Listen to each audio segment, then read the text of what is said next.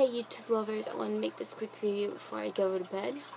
Um, I want to say Happy Christmas. I hope you guys had a great holidays and stuff like that. So I'll see you guys next time.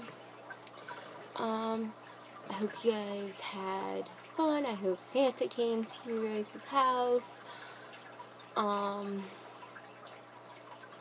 so I really hope that you guys got presents and stuff like that.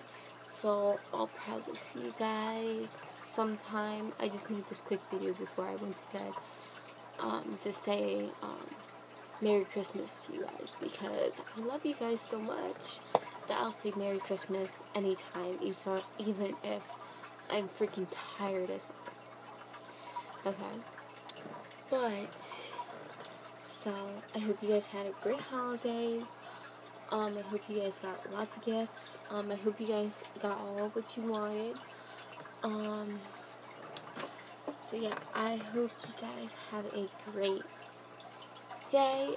Um, I hope you guys have a great holidays and we'll see you guys tomorrow. Bye.